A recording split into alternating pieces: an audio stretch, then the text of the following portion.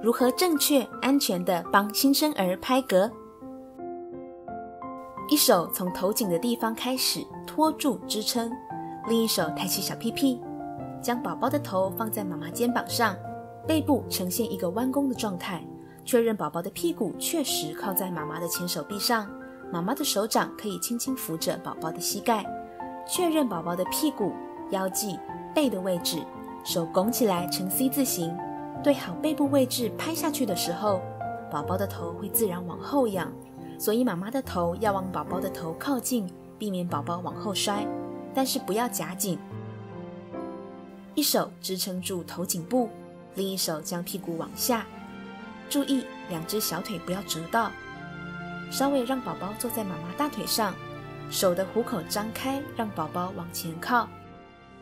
手指可以扶着宝宝的肩膀。这时候，宝宝的背会呈现直立状态。如果宝宝是被包起来的，要不断的确认脚、屁股、腰际的位置。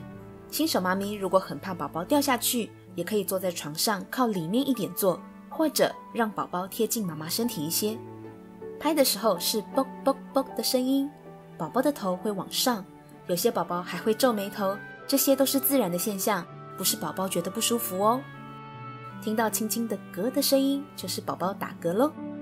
如果打嗝一直拍不出来也没有关系哦，千万不要硬拍，可以用浴巾或包巾让宝宝斜斜的躺着，不用太高。宝宝因为食道比较短浅，容易溢奶，建议帮宝宝稍微把头转到侧面，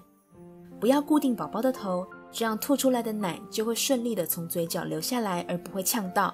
记得无论如何，宝宝每天至少都要打嗝一次哦。